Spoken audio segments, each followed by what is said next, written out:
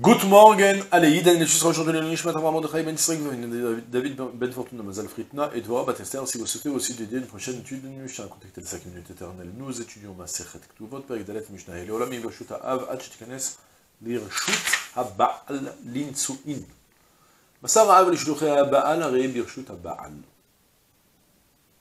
הלך האב עם שלוחי הבעל, או שהלכו שלוחי האב עם שלוחי הבעל,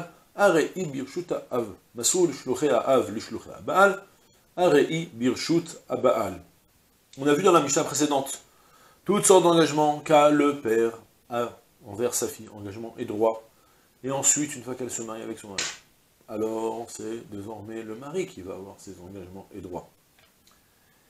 Notre Mishnah va s'intéresser à savoir à partir de quand la fille va changer d'un droit, d'une tutelle à l'autre.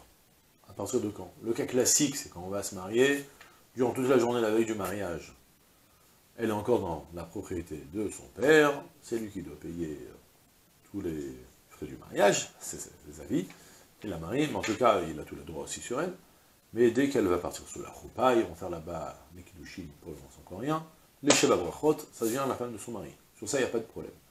Mais vous imaginez aussi qu'à l'époque, c'était pas toujours facile, pas toujours comme ça les mariages. On se mariait pas forcément avec les gens de son patelin. Il y avait des fois, lui, il habitait à, je sais pas moi, à Wissembourg, et l'autre, la cousine, elle devait se marier avec une autre de, je sais pas où, en, Allemagne plus profonde, avec...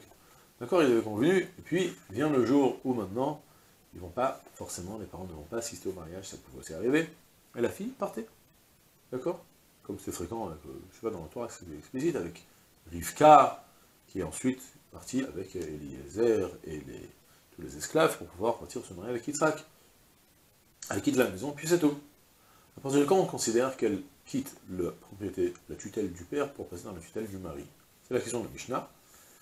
Il y a toutes sortes aussi de conséquences. Manger la trauma. Imaginez qu'elle s'est fiancée, par exemple, avec un Cohen.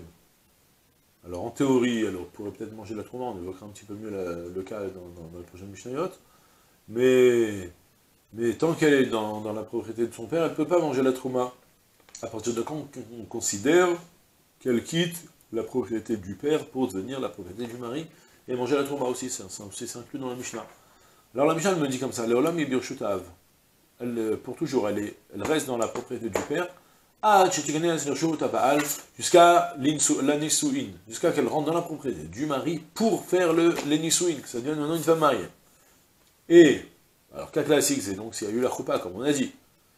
Maintenant, s'il n'y a pas eu de choupa, mais il a fallu Masara Av à Baal, si le père a transmis sa fille aux émissaires du mari, en l'occurrence, je vous évoquais le cas de Rivka, que euh, sa famille, Betuel, Lavan, ils ont transmis Rivka à Eliezer, qui était le chaliach de Yitzhak.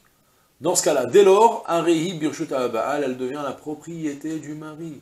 Elle a quitté son père, elle a quitté sa maison, et elle devient maintenant la, propriété du mari. D'accord? Même si pour le moment, elle n'a pas encore rencontré qui était son mari.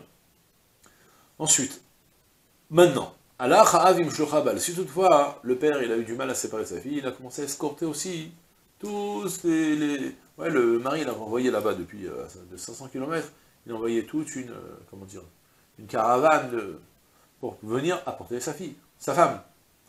Le père, lui, il a eu du mal à quitter sa fille, il a pris la route un petit peu avec eux, au moins pour euh, les premiers 50 km. Les accompagner, les escorter. Tant que le père, il est là, le père, il est parti avec les émissaires du mari, au encore, le père, il a, lui, ne pouvait pas partir, mais il a quand même veillé à ce qu'on s'assure que sa fille, elle parte bien. Ils il, a, envoyé aussi des, un émissaire, aussi un chaliach à lui, pour partir jusqu'à la sortie des frontières du pays.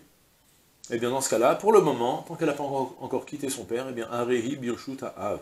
Elle demeure dans la propriété de son père. Masroul Shluché à Av, les à Baal. Si toutefois, les émissaires du père l'ont transmise aux émissaires du mari. Soit, en fait, elle, elle vient de Paris pour partir en Allemagne. Elle va arriver à la frontière plus ou moins vers euh, Strasbourg, comme ça. Là-bas, on a prévu que les émissaires du père vont rencontrer les émissaires de la femme. D'accord? Et après, les émissaires du mari, et ils vont la transmettre.